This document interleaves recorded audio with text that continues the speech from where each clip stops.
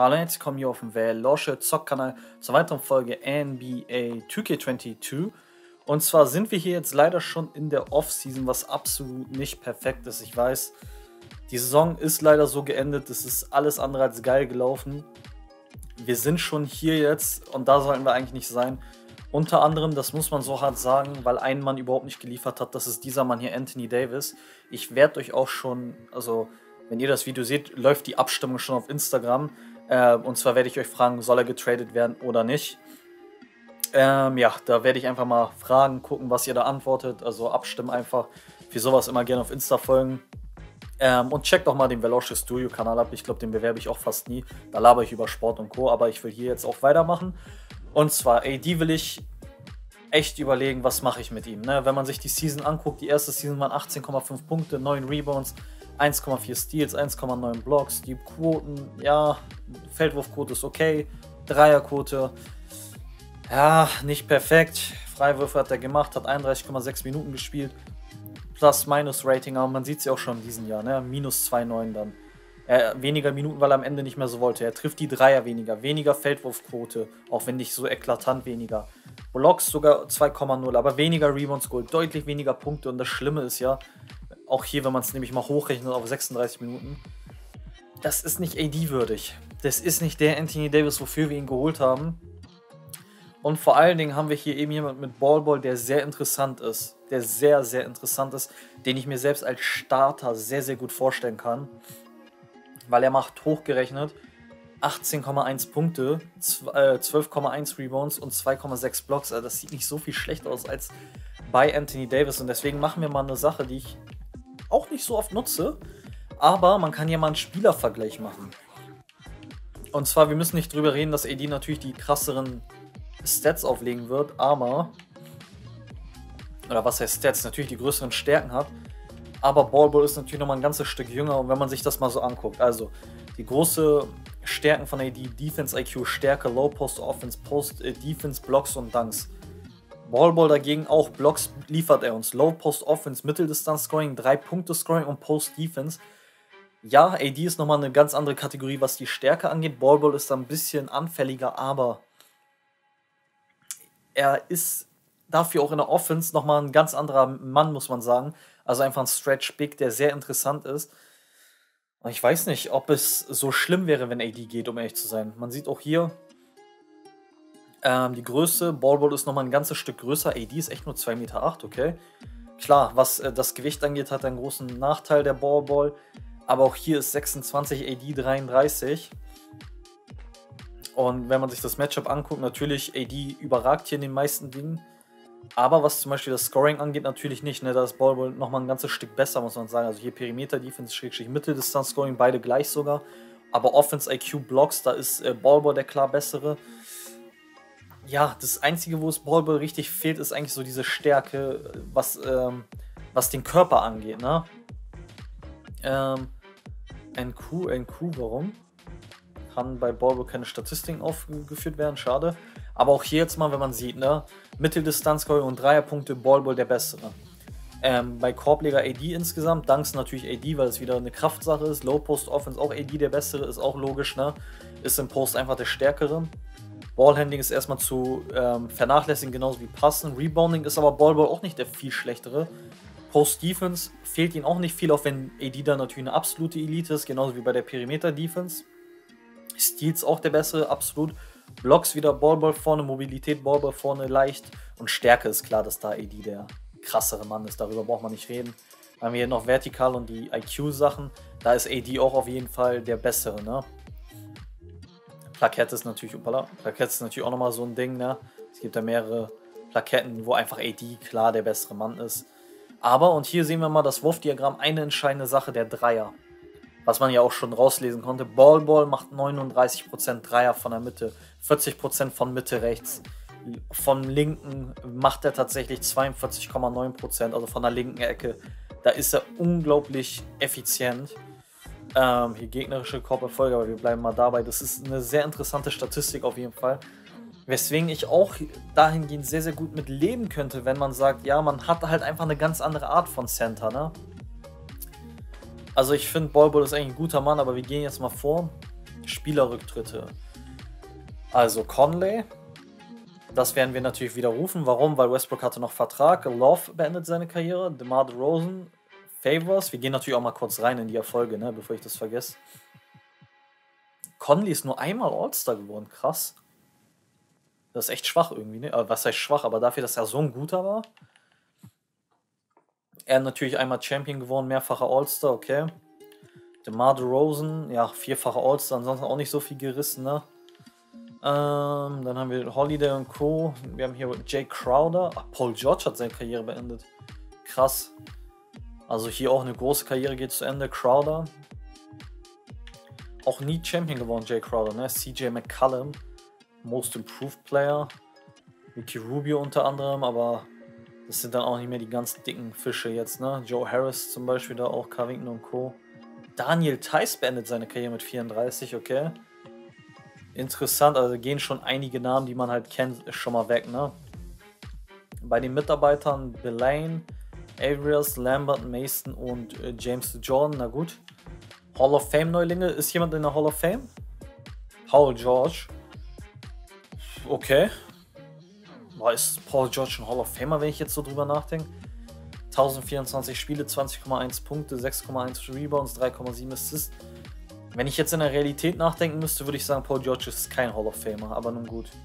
Draymond Green hat seine Karriere auch beendet. Warum ist Draymond kein Hall of Famer? Also wenn Paul George ein Hall of Famer ist, warum zum Teufel ist Draymond Green kein Hall of Famer? Das kann man mir nicht erklären. Draymond hat die klar krasseren Erfolge gefeiert, hatte die wichtigere Rolle durchaus auch. Verstehe ich nicht unbedingt. Aber gehen wir jetzt zum Liga-Meeting. Äh, abgelaufen, Teams dürfen nur traden, abgelehnt, modifiziert die Goating-Regeln, damit der Ball von jedem Spieler gespielt werden darf, sobald er den Ring berührt, abgelehnt. Alles abgelehnt. Dann bleibt die NBA wie sie ist. Und wir gehen jetzt rein zu einer der spannendsten Sachen, nämlich die Draft-Lotterie. Äh, aber bevor ich da noch mal reingehe. Ah, noch kann man nicht traden, okay. Gehen wir rein. Wir haben zwei dicke Eisen hier, ne? Wir haben einmal den Chicago-Pick und unseren eigenen, den die Wizards jetzt haben über San Antonio, aber der gehört uns, so müsste doch sein. Wir gucken mal.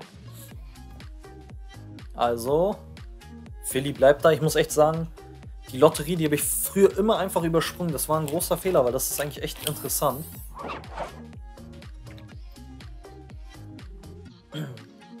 Mavericks auch auf 13, okay, bleiben auch da, wo sie sind.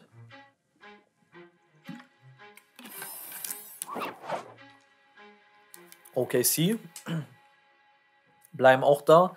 Man darf nicht vergessen, im letzten Jahr sind, Atlanta, sind die Atlanta Hawks von 12 war es, glaube ich, oder von 13 auf 1 gefallen und haben dadurch Jackson Jones äh, gekriegt. Prince äh, Jackson Jones, einfach mal ein Monsterspieler. Okay, die Kings bleiben aber auch auf 11. Also man kann durchaus durch die Lotterie so weit nach oben schallern oder schießen, dass du wirklich ja monströse Picks kriegst, ne? Aber mal gucken, jetzt gleich die Nummer 10. Das sind die New Orleans Pelicans, 4,5%, äh, dass sie steigen, aber sie bleiben auf 10. Okay, sehr schön. Das ist dann ja auch immer schöner, wenn die hinter uns sind, auch schön hinter uns bleiben. Es wäre natürlich schön, wenn wir den First, äh, den First Round Pick sind das ja alles, aber den ersten Pick kriegen. Das wäre schon ganz nice. Oder irgendwas in den Top 3. Aber da muss man halt gucken. Jetzt hier die Rockets. Ah. Okay, die Rockets bleiben auch auf 9 interessant. Ja, die in der Offseason ist ja jetzt auch Jokic äh, Free Agent. Das heißt, da kann es für die Rockets sehr wichtig sein, dieser Pick. Wobei man natürlich am besten versuchen sollte, Jokic zu halten. Hier die Hawks, die haben im letzten Jahr richtig fett gewonnen. Und die gewinnt schon wieder. Sie gewinnt schon wieder. Die Atlanta Hawks haben so ein scheiß Glück in der Draft-Lotterie. Das ist der Wahnsinn. Die Atlanta Hawks werden geliebt. Aber wir behalten immer so unseren Pick, weil das war der geschützte Pick. Also wir haben den Lottery-Pick ja eh gehabt, aber das ist krass, dass die Hawks immer gewinnen, ne? Miami jetzt auf 7 und wir sind einfach auf 8. Das ist... Wir sind so, sogar von 6 gefallen, Alter. Nee, das ist... Oh, nee, ey. Ey, was ist los? Warum, warum haben wir so ein Pech? Die Hawks haben uns wirklich auseinandergenommen schon wieder, ne? Jetzt hier Philly ist dann auch Philly. Und die Atlanta Hawks, wenn die schon wieder den Number One Pick haben, dann, dann, dann frage ich mich, was geht bitte bei denen. Sixers übrigens 5. und 14. Picks, aber wir haben echt Pech, ne? Naja, jetzt Trailblazers, Nummer 4. Raptors. Okay, also Trailblazers auch nach vorne. Raptors ärgern sich natürlich, weil sie wären ein bisschen weiter oben gerankt gewesen. Jetzt ist die Frage, wo landen die Hawks? Haben die Hawks schon wieder so ein Monsterglück? Wer kommt jetzt? Die Trailblazers? Es sind die Trailblazers und die Hawks sind unter den ersten zwei. Ey, das kannst du dir nicht ausdenken. Jackson Jones im letzten Jahr gekriegt. Den krassesten Rookie, den es in den Vorjahren so gab. Und jetzt bist du einfach wieder auf Platz 1. Einfach mal ganz entspannt sich denken, jo, läuft doch. Wenn sie wieder den Number One Pick kriegen, dann falle ich vom Glauben ab, Mann. Jetzt Denver. Denver oder Hawks. Es sind die Hawks und Denver hat den Number One Pick. Und Denver hat aber auch nochmal Antetokounmpo im Team, ne? Alter Schwede, was sind das für Teams, die sich hier formieren? Ja, und die Nuggets sind jetzt der Number One Pick. Das ist auf jeden Fall interessant. Ja, wenn man dann kurz mal reingeht dann bei den ganzen Prospects, wo man sich die gleich mal angucken kann. Ähm, Scouting, Talent Scouting. Dann sehen wir hier auf Nummer 1 Thierry Maiga okay, offensiver Einleiter. Der einen Wurf? Ja, nicht so, ne? Das wäre jetzt für die. Also, wenn ich jetzt die Nuggets wäre, würde ich den wahrscheinlich nicht nehmen. Weil dann hast du mit Antetokounmpo und I hier zwei, die nicht werfen können. Steve Fletcher. Aber der ist nicht Überlauf 2, oder? Doch, der ist Überlauf der 2, okay. Steve Fletcher, 19 Jahre Zonenverteidiger, der kann auch nicht so krass werfen. Das ist jetzt für die Dings gar nicht so krass, ne? Dann gibt es noch Percy Flowers, der aber jetzt je nachdem von manchen woanders gepickt wird. Da wird er zweimal Neumann genannt. John Neumann aus Deutschland, der kann schon richtig was, ne? Wenn wir jetzt mal zu unserem Pick, hoppala, zu unserem Pick gehen, dann hätten wir mal Louis Copland, aber auch eine 77, okay. Shooting Guard, drei Punkte Top aus Jacksonville. Äh, wenn man hier gucken würde, wieder Copland, okay. Interessant. Und äh, wer ist hier laut Achter? Wer hier Lloyd James? Okay, da muss man echt gucken, ne? Wen man sich dann wirklich holen wird. Man kann ja, glaube ich, jetzt auch schon traden, ne? Mhm. Und jetzt können wir einfach mal gucken, was wäre für AD möglich. Ich gucke einfach nur die Angebote rein. Simmons und Harris, okay interessant. Ist ein Deal, der nicht schlecht ist. Muss ich ganz ehrlich sagen. Ben Simmons würde ich nämlich als Small Forward sehen. Ähm, Harris wäre auch kein schlechter. Kann man drüber nachdenken, aber müsste einen Pick abgeben. Siakam um Fulls scheiß Fliege macht gar keinen Sinn. White und Howard, äh, Hayward, na, bin ich kein Freund von. Scotty Barnes ist ein sehr schöner Spieler. Ein sehr, sehr schöner Spieler. Hm, Kawhi. Wobei kann Barnes werfen, das muss ich auch noch mal kurz gucken, ne? Kann Barnes werfen, was hat er für ein Contract? Okay, lange genug noch. Scotty Barnes. Er kann werfen, Spielaufbau super, hat eine Perimeter-Defense von A. Wow, das ist ja ein Monster. Also Scotty Barnes wäre gar nicht mal so übel. Okay, Draft Pick Nummer 7. Lonzo Ball und Okongwu. Naja, gut, Murray werde ich nicht zurückholen. Quickly und Barrett. Ja, aber dann muss ich Ball, Ball abgeben, das mache ich nicht. Uh, da. Donovan Mitchell kriegen.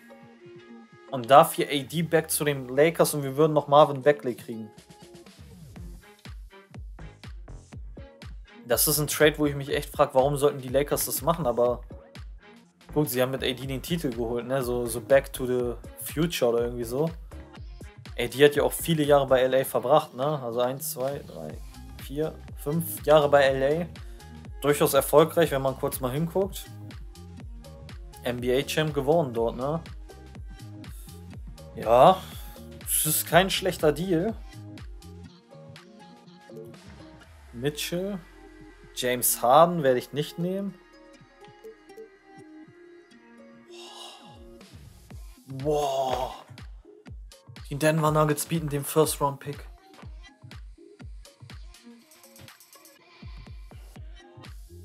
Boah. Also den ersten Pick. Wir würden vor allen Dingen Davis sein Gehalt komplett wegkriegen. Wir hätten Cap Space ohne Ende. Kyrie auch sehr interessant. Oh, Jalen Brown. Jalen Brown.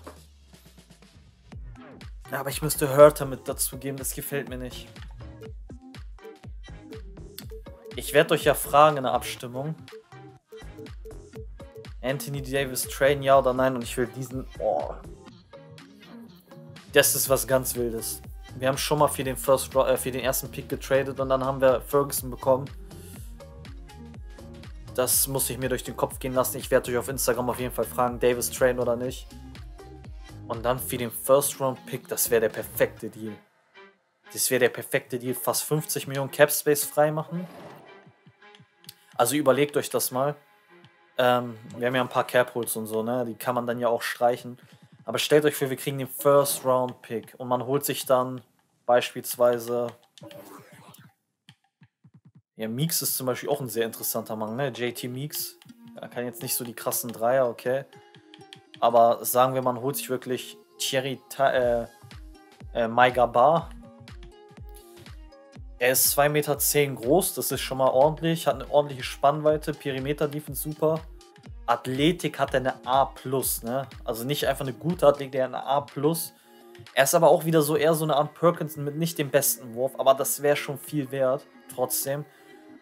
Weil er ist 2,10 Meter. Was war, wie groß war Perkins? Ich muss mal kurz gucken. Wo haben wir den nochmal hingetradet? Perkins. Äh, muss ich kurz mal gucken, wo ist Perkins? War das Washington? Ne, hier ist McCoy, ne? Ach, muss ich kurz mal gucken. Hm, Trade. Zu den Sixers, genau. Zu den Sixers. Und er hat sich halt auch nicht so entwickelt, wie es sollte, ne? Perkins hier. Er war 2,6 Meter, sechs, auch nochmal 3 cm kleiner und seine Athletik war A-.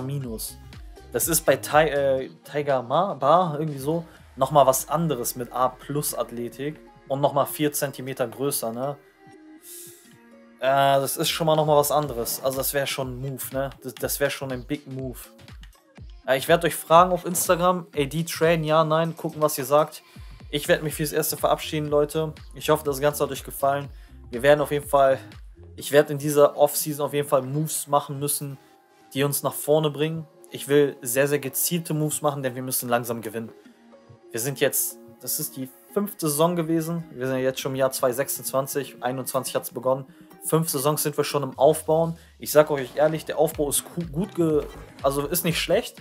Wir haben auch mit Ferguson, Van Horn, Primo ähm, und auch Geiger in diesem Aufbau vier eigene äh, Talente, die man wirklich auch hochgezogen hat, die ein fester Kern sind. Wir haben interessante Roleplayers mit Hurter, mit unter anderem Ballboy jetzt äh, herauskristallisieren können. Und eben auch einen gescheiterten Versuch mit einem Superstar wie Davis und haben aber auch einen eigenen Superstar mit Ferguson kreiert. Deswegen der Aufbau ist sehr, sehr gut gelaufen. Vielleicht nicht optimal, weil so ein paar Talente wie eben Perkins nicht das ganz rausholen konnten, was sie sollten. Auch ein Ted McCoy war eine Enttäuschung am Ende des Tages. Aber jetzt geht es darum, die richtigen Moves zu machen, um jetzt gewinnen zu können. Und gleichzeitig aber haben diese Talente wie Van Horn und Co. trotzdem den Platz hier. Deswegen der Aufbau ist auf gar keinen Fall gescheitert. AD werde ich abgeben, wenn ihr auch dafür stimmt. Vielleicht werde ich euch auch überstimmen, mal gucken. Weil eigentlich bei dem Contract, ey, das wäre das wär der Wahnsinn, ihn nicht abzugeben, ne? Wir können dann auch echt gucken, was ist in der Free Agency möglich, denn da wird es auch einige interessante ja, Leute einfach geben. Wir haben ja momentan hier 6-Pick, 8-Pick und können den First-Pick holen. Also auch hier hätten wir einige Talente. Und man könnte auch nochmal mit den Picks was machen. Aber das alles in der nächsten Folge. Ich melde mich fürs Erste ab. Ich hoffe, das Ganze hat euch gefallen und bye bye.